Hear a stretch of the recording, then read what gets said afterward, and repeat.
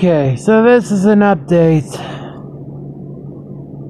Uh, for some reason the capture card is doing its shit, so uh, I'm going to have to fix that, and hopefully, out of enough tries, I can get it to run smoothly.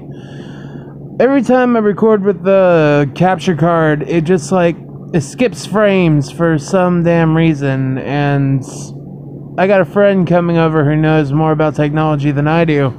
So hopefully I can get it running again. However, I'm going to redo um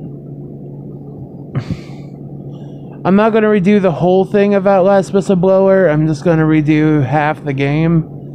So that's why the videos some of the videos will be missing.